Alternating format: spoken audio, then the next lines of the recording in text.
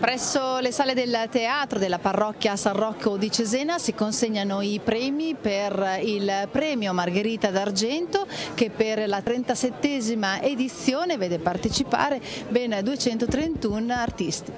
Prima domenica di marzo si conferma l'appuntamento con gli artisti per il premio La Margherita d'Argento, tantissime le opere esposte anche in questo 2012. Sì, eh, devo dire noi eh, si temeva molto questo anno perché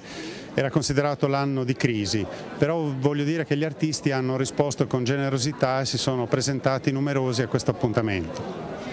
Sono quindi 231 le opere, sono 22.000 gli euro eh, di premio, sono 3.000 gli euro che vanno ai primi premi. Sì, sì, la caratteristica di questo concorso da qualche anno a questa parte, dalla trentesima edizione, è stata quella di eh, superare inizialmente quella che era una eh, struttura eh, sostanzialmente di premi ad exequo e abbiamo individuato per ogni genere figurativo, l'astrato informale, il paesaggio e il, ehm, e il figurativo abbiamo individuato dei premi particolari, dei premi speciali.